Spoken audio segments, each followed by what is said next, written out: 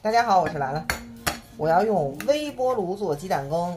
我家张哥非不让，非跟我干仗，告诉微波炉溅的哪儿都是。哼，给他看看，是溅的哪儿都是吗？给他打伞。我看人家做吧，还过滤啊。我不过滤，过滤它干嘛？做鸡蛋羹谁还过滤它？怪麻烦的。我就给他打伞吧，然后给他放点盐。做鸡蛋羹一定要放盐，别放多，放一点点盐。好了吧，然后再放点水，温水，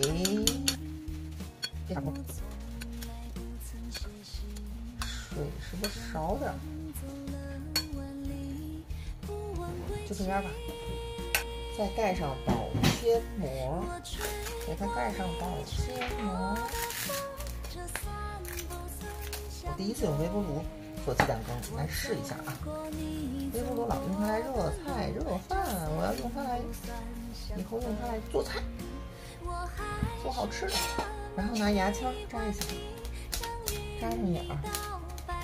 行了，就这样，开始。下面把鸡蛋羹放到微波炉里，微波炉大火三分钟。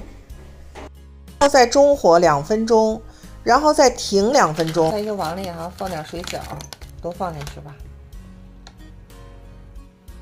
然后再放点开水，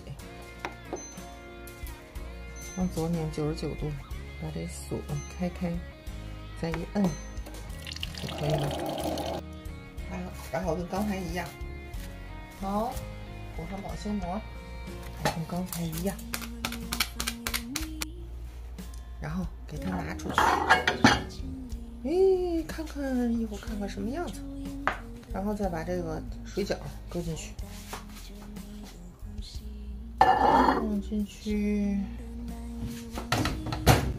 高火，高火，三分钟，开始。我们看一下鸡蛋羹，没关系，然后给它切一下。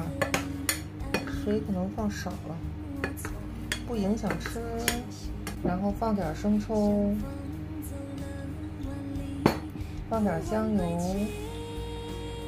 放点葱花，太棒了！再放点醋，我喜欢吃醋。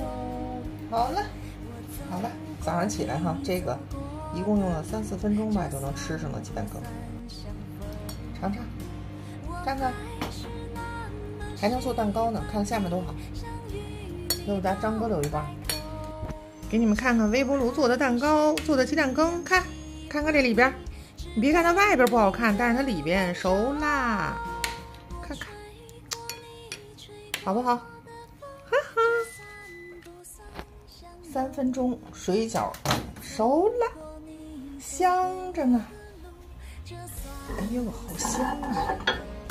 放点葱花，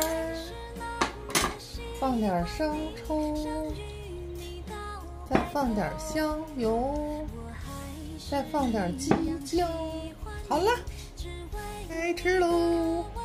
三分钟搞定。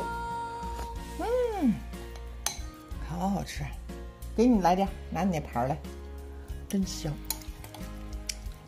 真好吃，香死人！够了吗？再给你半汤，完喽，还能做菜呢。